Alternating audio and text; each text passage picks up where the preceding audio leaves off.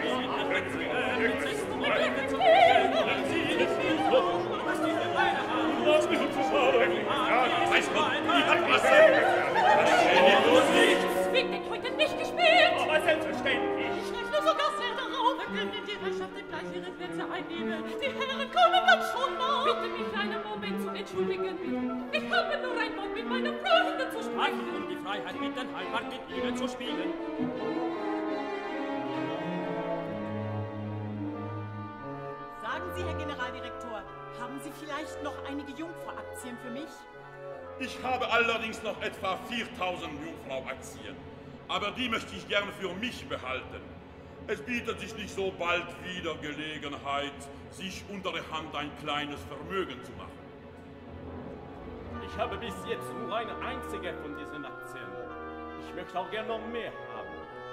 Ich will es versuchen, Herr Doktor, Ihnen welche zu besorgen. Aber das sage ich Ihnen im Voraus, Sie zahlen Apothekerpreis dafür. Meine sämtlichen Ersparnisse bestehen jetzt aus Jungfrau-Aktien. Wenn das nicht glückt, Herr Generaldirektor, dann kratze ich Ihnen die Augen aus. Ich bin mir meiner Sache vollkommen sicher, meine Teuerste. Auch ich kann Ihnen garantieren, dass Ihre Befürchtungen vollkommen unbegründet sind. Ich habe meine Jungfrau-Aktien sehr teuer bezahlt und bedauere es keinen Augenblick. Sie steigen ja von einem Tag auf den anderen. So was ist noch gar nicht da gewesen. Umso besser, wenn Sie recht haben. Kommen Sie, mein Freund. Jetzt wollen wir unser Glück im Baccarat versuchen. Sie erlauben mir noch zwei Worte. Ich habe Ehre, vollbringen. Lassen Sie uns allein. Sind Sie taub?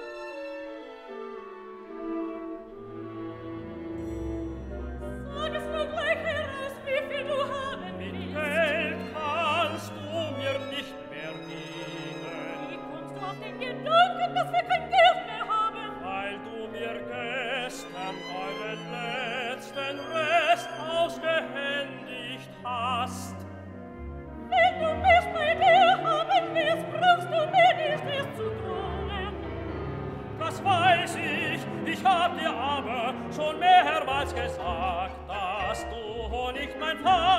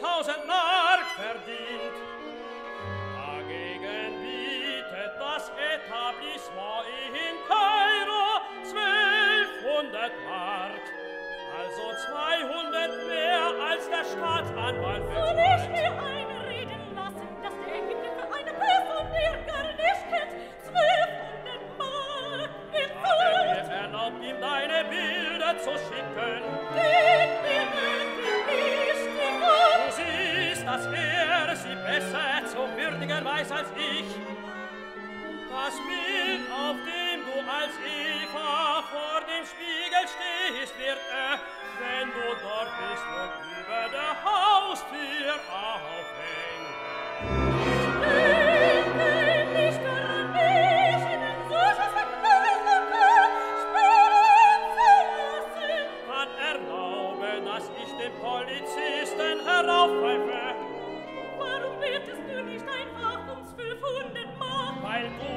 und ein Komponist auf dem Trockenen seid. Wir haben noch 30.000 Mark. Aktien? Ich habe mich nie mit Aktien abgegeben. Herr Staatsanwalt,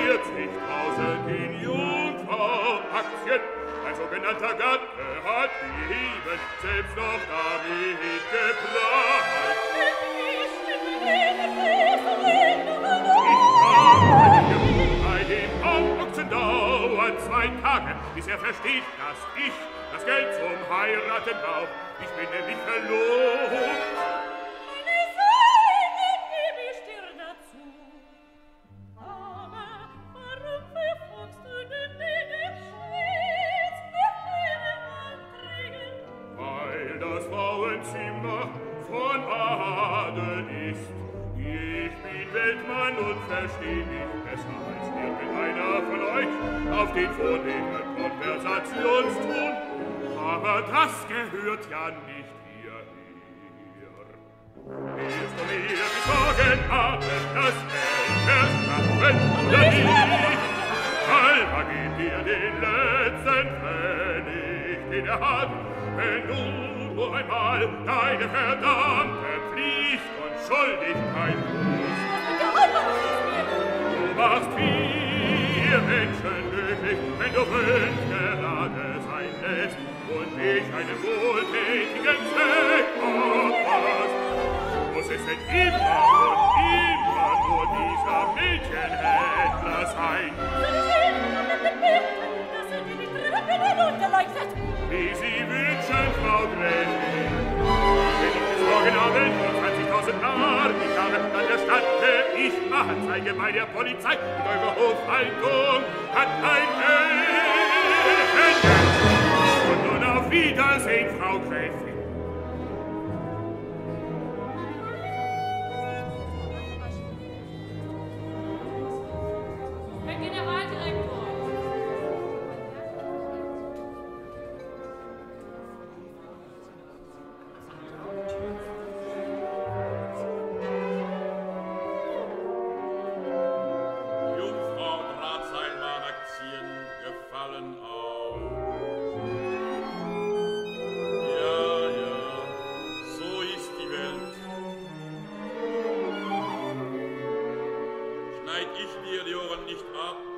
überreichst du sie mir.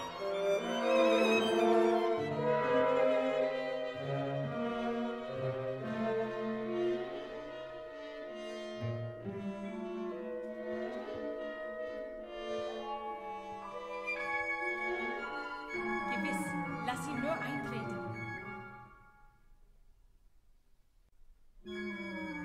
Ich brauche nämlich notwendig Geld. Ich bin hätte meine Geliebten eine Wohnung.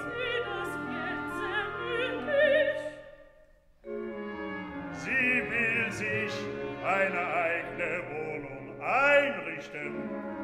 Solche Summen spielen doch bei dir keine Rolle.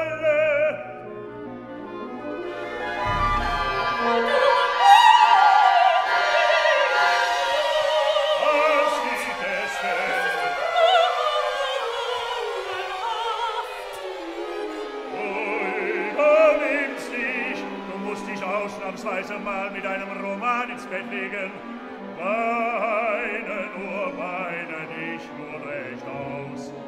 So hat es dich auch schon vor 15 Jahren geschüttelt.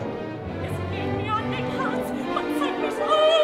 Wer zeigt dich an?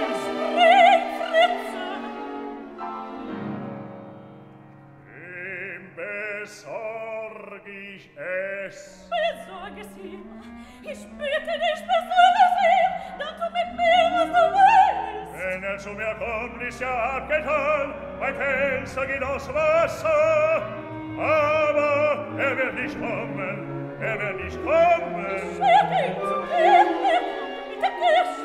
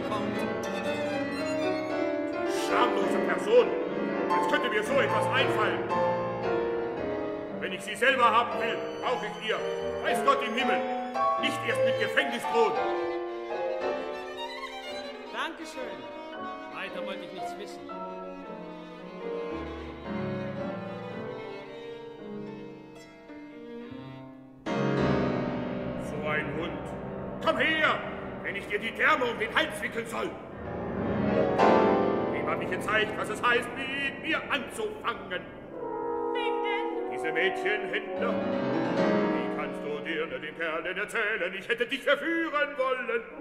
Hast du nicht von mir verlangt, dass ich mich dem Alber für 20.000 Mark in Jungfrau-Aktien hingebe? Weil es eine Pflicht ist, dich des armen Jungen zu erbarmen.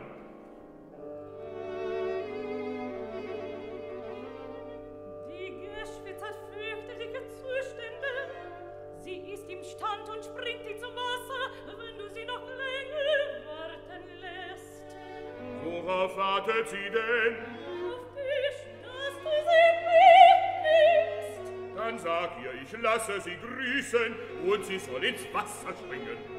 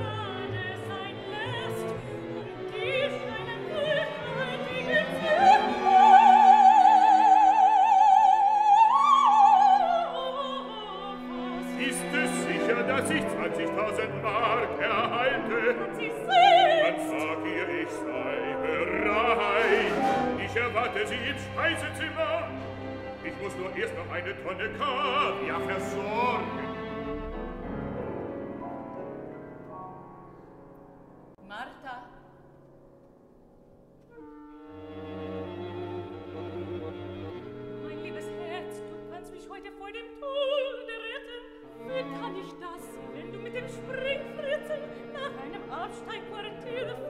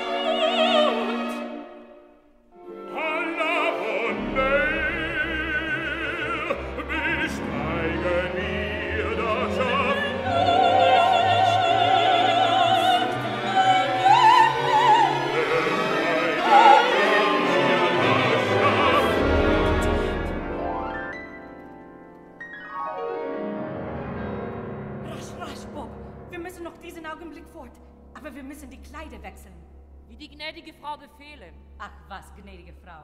Du gibst mir deine Kleider und ziehst meine Kleider an. Komm.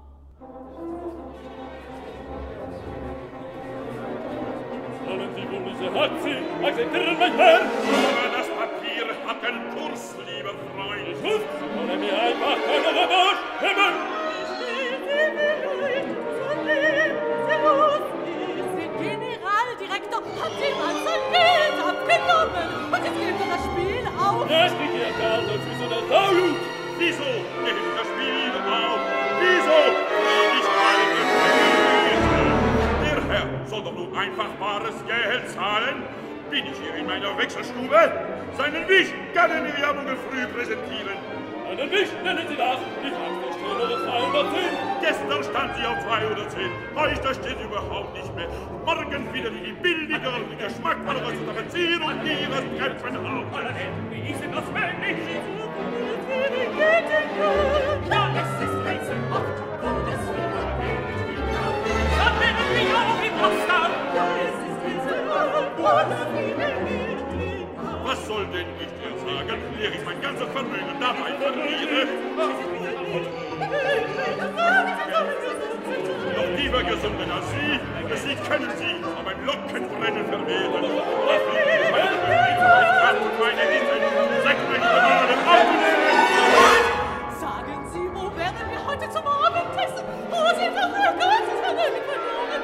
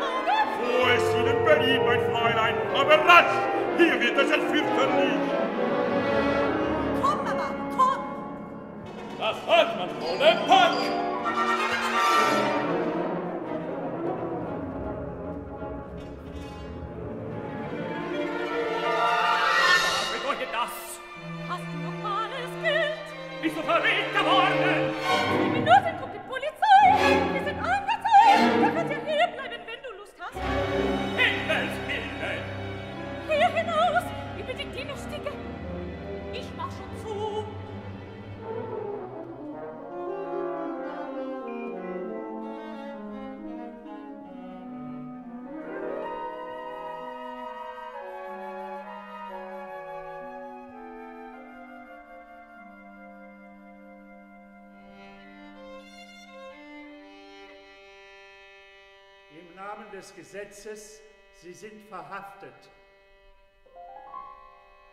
Aber was machen Sie denn da für Unsinn? Das ist sie ja gar nicht.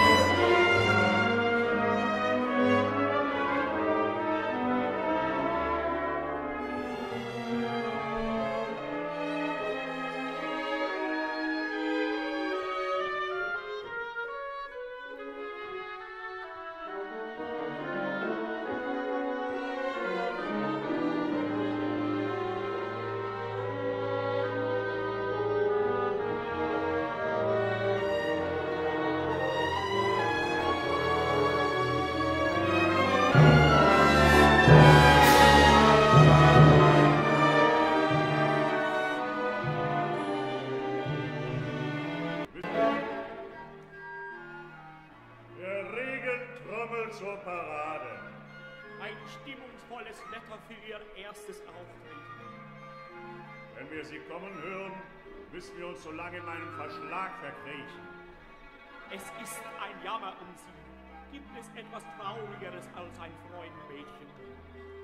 Ich zweifle nur stark daran, dass noch einer anreist. Ich möchte es auch niemand raten. Dieses Rindvieh!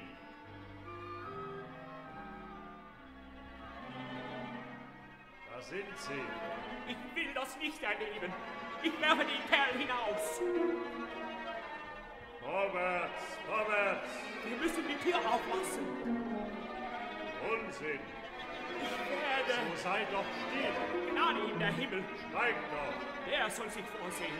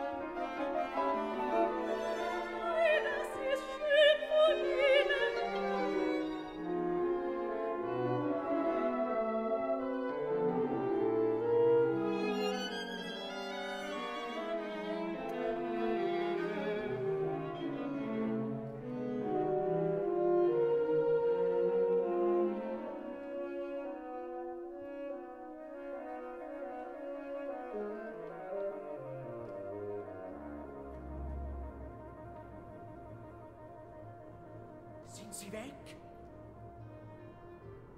Warte noch! Ich will vor Ihrer Tür knien. Dieses Muttersöhnchen!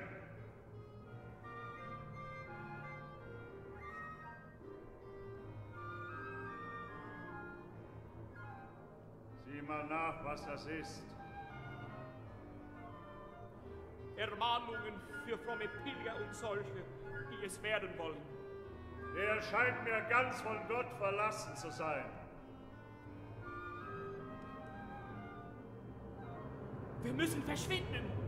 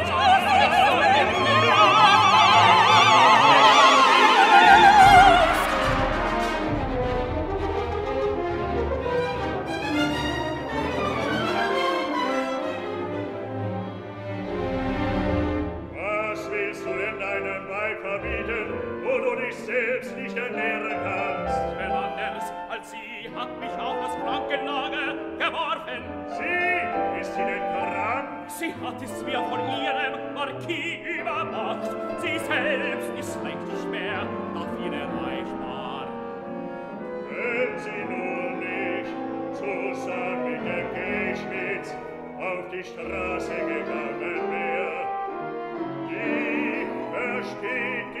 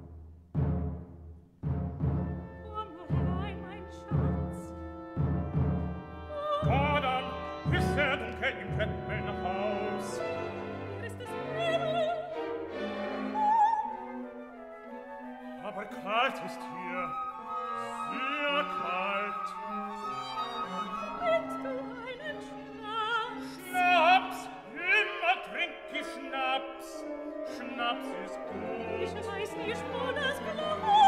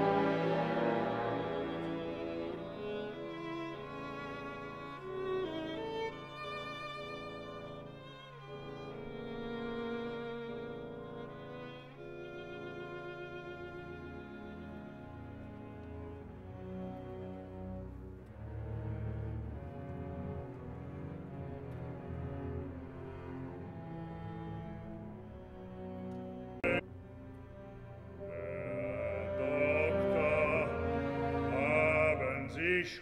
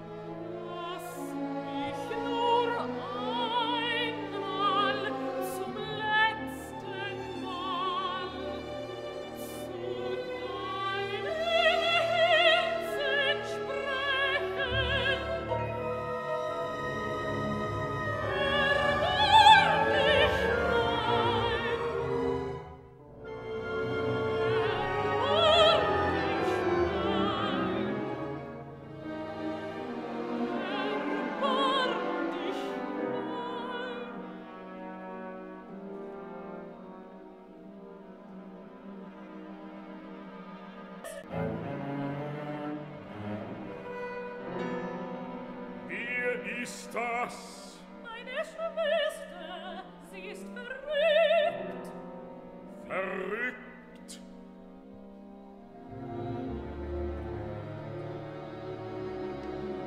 Du scheinst einen schönen Mund zu haben. Den hab ich von meiner Mutter. Das sieht man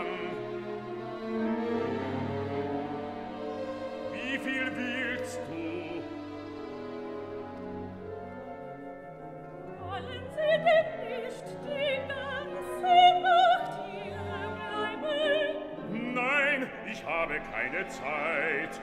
Ich muss nach Haus. Sie können morgen zu Haus eine Wie viel willst du denn? Viel Geld habe ich nicht.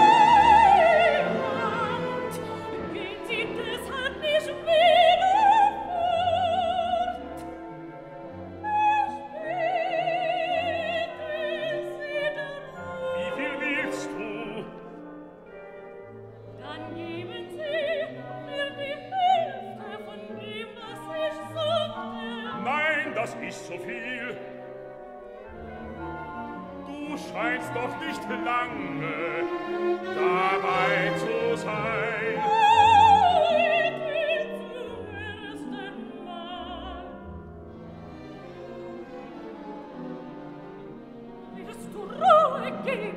Das ist nicht eine Schwester. Sie ist in dich verliebt, armes Tier.